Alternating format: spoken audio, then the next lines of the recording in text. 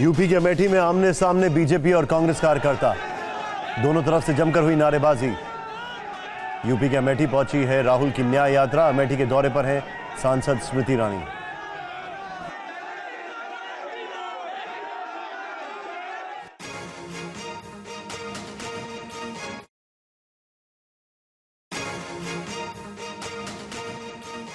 UP के अमेठी में आमने सामने बीजेपी और कांग्रेस कार्यकर्ता।